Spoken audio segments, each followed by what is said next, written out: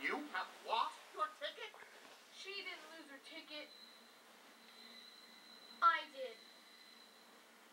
I tried to re- return it to you, but the wind blew it out of my hand.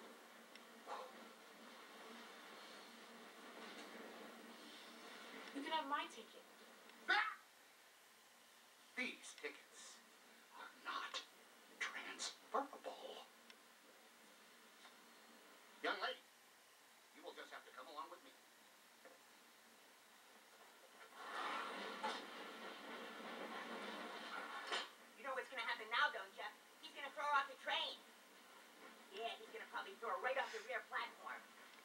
Standard procedure. That way she won't get sucked down under the wheels. They may slow the train down a little bit, but they're never gonna stop it. Stop it.